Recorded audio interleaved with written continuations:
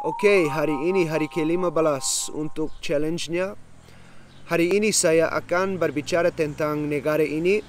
Negara saya, saya seorang Kiwi, jadi saya dari Selandia Baru. Ah, kami negara kecil di belahan bumi selatan, tidak jauh Australia. Kami punya empat pulau.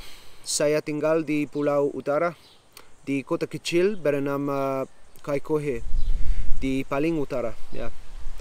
Uh, populasinya di sini empat setengah juta ya sedikit orang-orang di sini.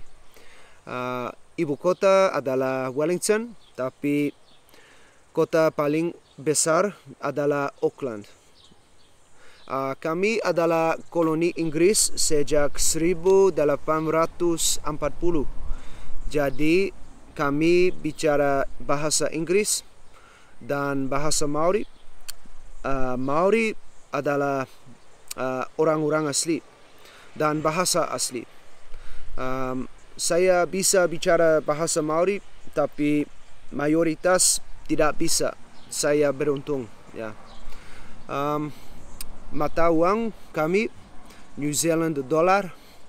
Um, kami punya banyak pantai, danau, gunung, uh, ya negara negara indah ini.